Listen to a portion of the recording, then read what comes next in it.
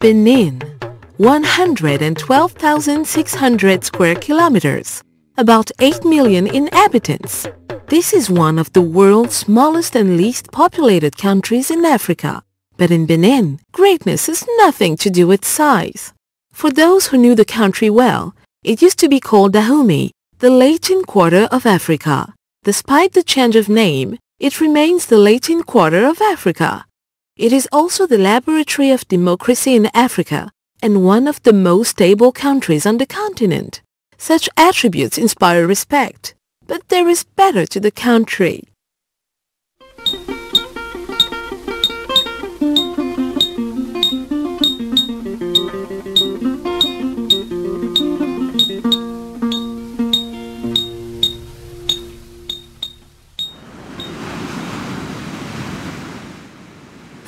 Fascination.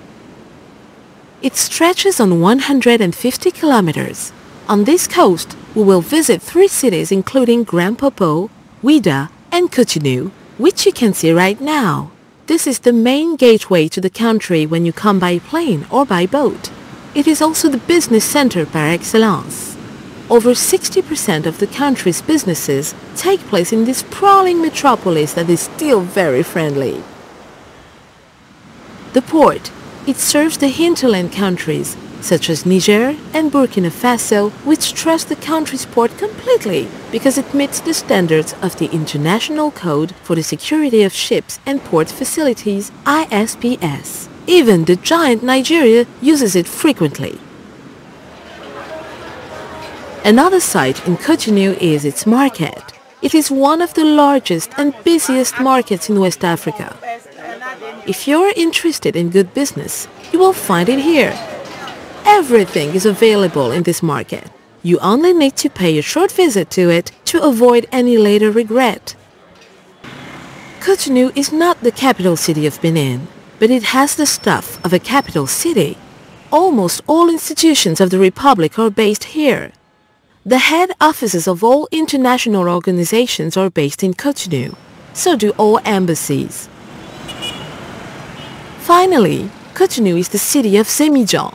These legendary motorbike taxis, whose drivers are dressed in yellow, facilitate your movements just for some coins.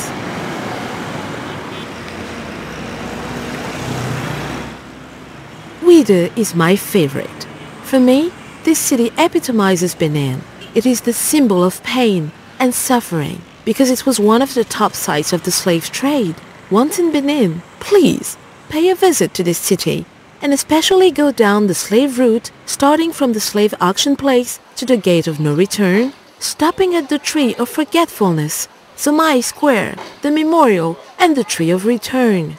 It is an edifying pilgrimage worth doing although it is moving.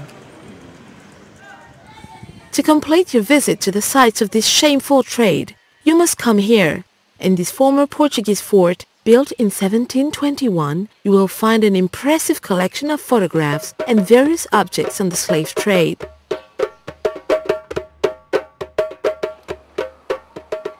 Ouidah is also the symbol of successful integration. Descendants of former slavers and former slaves live in perfect harmony. It's incredible but true. All cultures, indigenous and foreign, mingle well in this city. The fact that the Basilica and the Temple of the Pythons, which you can blithely visit, face each other is a proof of this peaceful coexistence. Knowing that the sand used in the construction of this church was brought from over 5 kilometers by voodoo worshippers, it becomes easier to guess that Ouidah, the capital of voodoo, is tolerance in itself. After Ouidah, westward further, you come to Grand Popo, the pearl of the coastal region. The first contact of Benin with the West happened here. Grand Popo is a town between two waters, the sea and the river. On your schedule, plan a night in Grand Popo. Besides the friendly hotels, you will experience the whistling of wind in the coconut trees and the sea lullaby to relax and soothe your nights.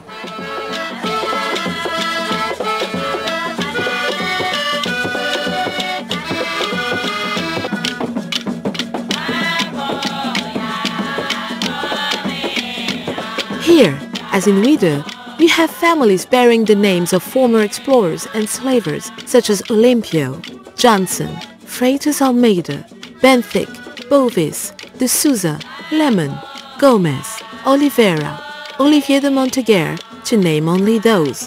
Such families are also found in Porto Novo, Benin's capital city. The Portuguese were here at home, for it seems the town reminded them of Porto. Thus, they named it Porto Novo in 1752. Porto Novo was an ancient kingdom. Today, it remains a rather historic city or a city museum. Porto Novo, it is Benin's memory. You'll find royal palaces including the one of King Tofa I in the city, old buildings in the Luso-Brazilian style, treasures in the various museums, the National Library, and many other sites, some as interesting as the others. Now, I suggest you go northward into Benin, precisely to Abomey, another historic city. But on the way, two stops are important. The first is that of Ganvié, the lake village. It is the most visited site. I would say that it is the greatest site of Benin. People go to Ganvié to escape, to dream, and to share moments of pleasure with very friendly people especially, especially when you put your cameras away. In the beginning, I told you that this country is small but great. Well, evidences of this are not what miss. Here is another one. Toussaint Louverture the first black general in the French army, the liberator of Haiti, the first of blacks in the land of the white. He is Beninese, precisely from Allada, an old historic city founded around the 14th century.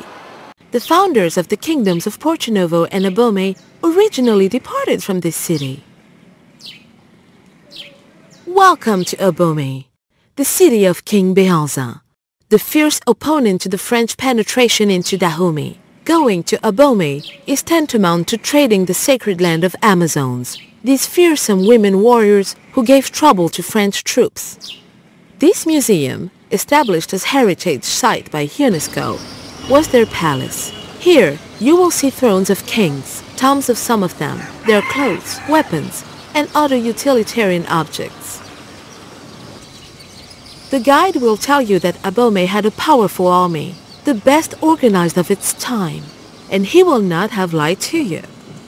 The archaeological village located 9 kilometers from Abomey tells a lot about the war strategy of that army.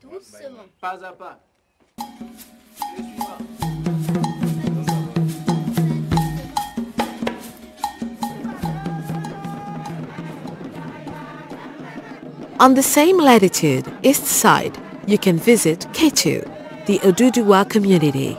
This old Yoruba kingdom was founded by the eldest son of King of Ile-Ife. Is a town in Nigeria.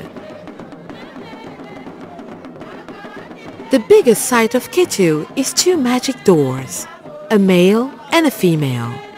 They have incredible supernatural powers that would be tedious to enumerate here. We now turn to the heights of Benin. Let me tell you right away that it has nothing to do with the Kilimanjaro. These are hills and mountain ranges proportional to the size of the country. Have a look at those of Dassazoumé. At the foot of one of them, a Mary's grotto was constructed since 1954 because it was believed the place looks like Lourdes in France.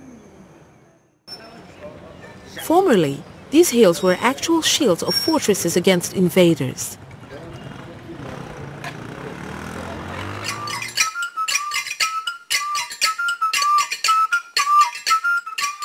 That break was well worth a transition to the main course. Silence then, for the mouth that eats does not talk, it savors.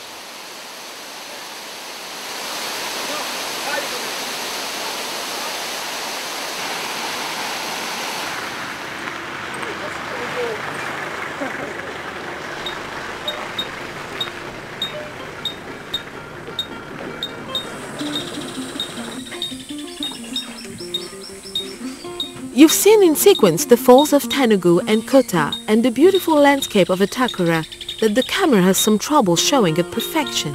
Now, you're in the 100% natural park of Pendjari. It is the largest and most populated with wildlife in the western part of Africa.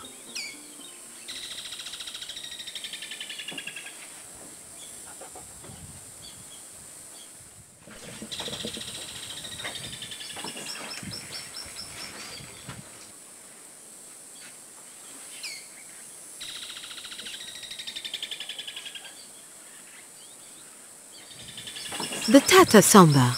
What an architecture!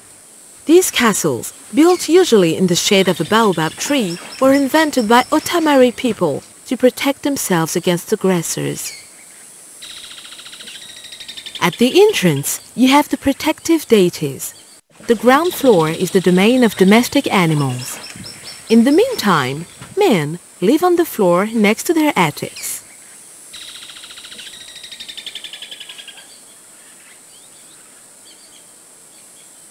I won't forget to give you a snapshot of Parakou, the metropolis of the north, the hometown to the first president of Benin. It's also a former kingdom. Its market is one of the largest of Benin. Parakou is renowned for its tasty pole cheese. This big red cheese is known as wagashi.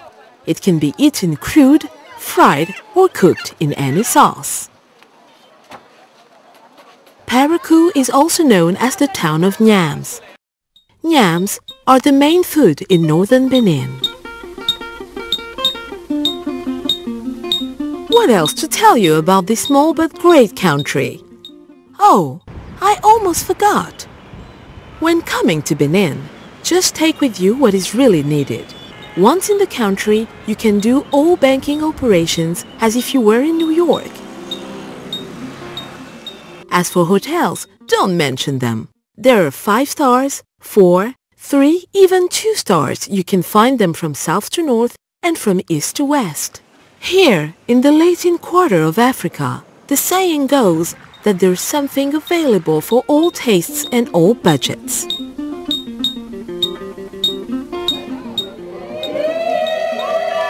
I am going to stop here for today because in Benin, we do not take the whole arm when somebody holds out his hand to us. Similarly, we do not go to the bedroom directly when we are admitted into the living room. The lesson is never to abuse people's generosity. Thanks for your attention and see you soon.